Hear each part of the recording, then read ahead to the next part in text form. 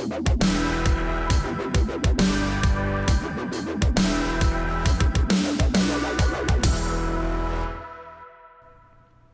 everybody. I'm Bill Whittle here with Steve Green and Scott Ott, and this is the Right Angle Show.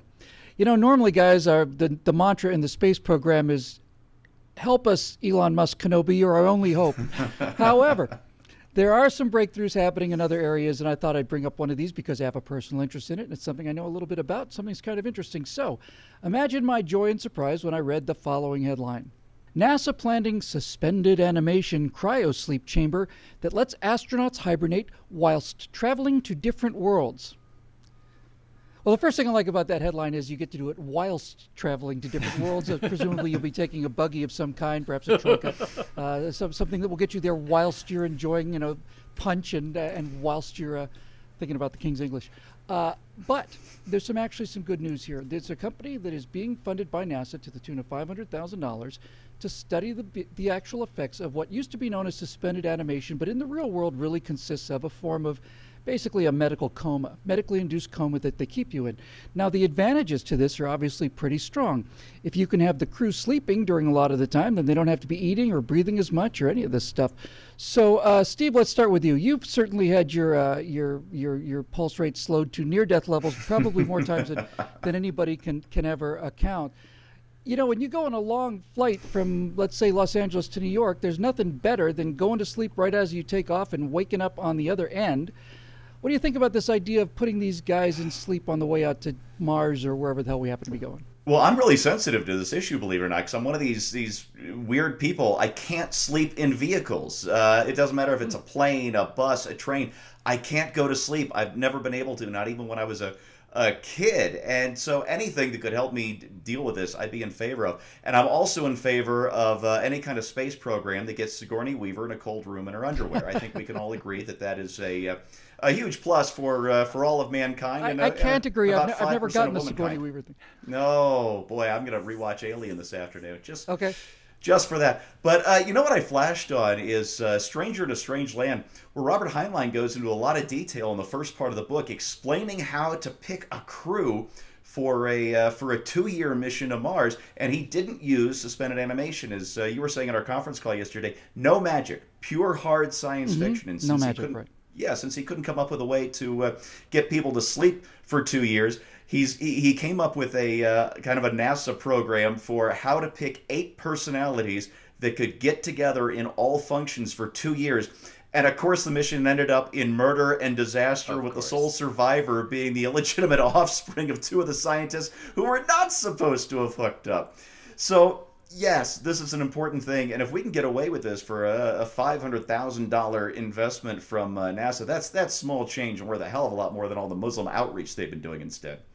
Yeah, well said. I think actually for the Mars mission, they ought to put me and Touré from MSNBC on the crew. I think that would be an awesome. yeah, um, that'd be the like kind that. of that'd be the kind of cooperation that you'd, you'd kind of really want yeah. to expect out of this sort of thing. Well, Scotty, you know the human body's an amazing thing here, and not just the human body. All mammals pretty much do some pretty interesting things when the temperatures get low.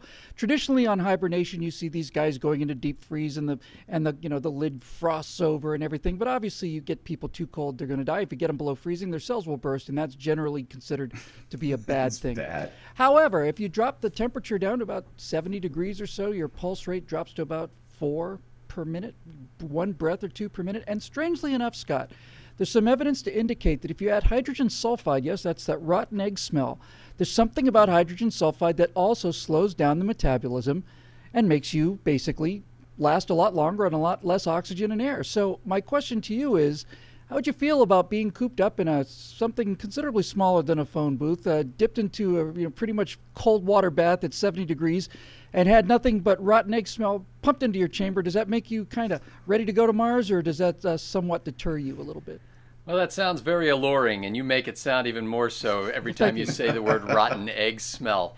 Um, you know, it, actually, I have a personal connection to this whole whole idea too, because it was immediately after viewing the movie Forever Young, starring Mel Gibson, oh, yeah. that I went out uh, to the parking lot and in the little uh, compact car held the hand of Stephanie, who was then Stephanie Neal, and asked her oh. to marry me. Oh. And I oh. don't know if it was, uh, you know, part of the inspiration was the Spirit of God saying, this is the woman you're supposed to be with for the rest of your life, or it was the idea that, hey, somebody might like freeze me and I'll never get a chance to do this.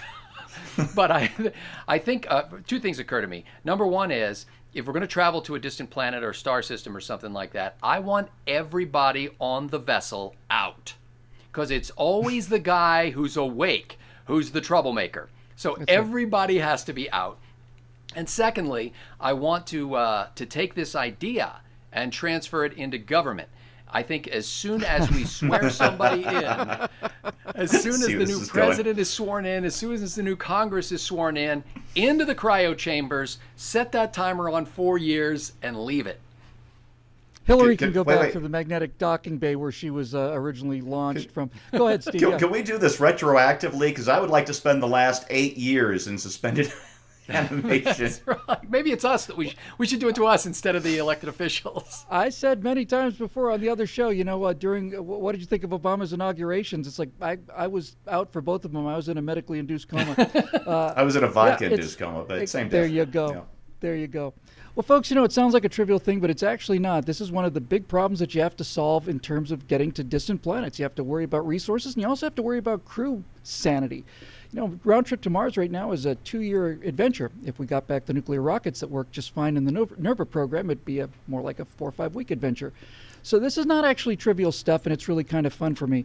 Uh, everybody pretty much knows about my love of Star Trek. My studio here is pretty much the museum of Star Trek, but I've said this before, I'm not terribly proud of it. The original influence on me, of course, was Lost in Space. And seeing everybody get into those mylar suits and step into those, those, those acrylic tubes and just suddenly go quiet and then just through space was really impressive.